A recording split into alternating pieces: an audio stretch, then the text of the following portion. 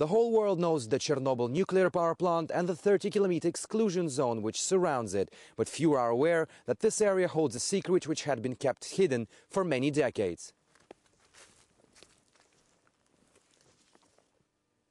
For the first time ever on international television, RT is able to bring you one of the biggest secrets of the Soviet Union. This facility behind me has many different names, the Chernobyl 2, the Duga, or a more technical name, the Beyond Horizon Radio Location Facility. Its prime, prime goal was to detect a missile launch anywhere on the European continent, but its test launch in 1980 proved that its signal is so powerful that it can reach the eastern coast of the United States. This facility was one of the most expensive projects of the Soviet Union. It cost uh, around 7 billion Soviet rubles, which is twice as expensive as the construction of the Chernobyl nuclear power plant just 15 kilometers from here. This facility was indeed very resourceful in its needs. In fact, most of the power produced at the Chernobyl nuclear power plant went here.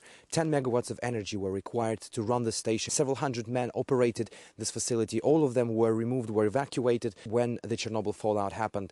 And uh, to this day, none of them were able to spill out any information as to their work, as this facility still remains classified for some, for whatever reasons they are.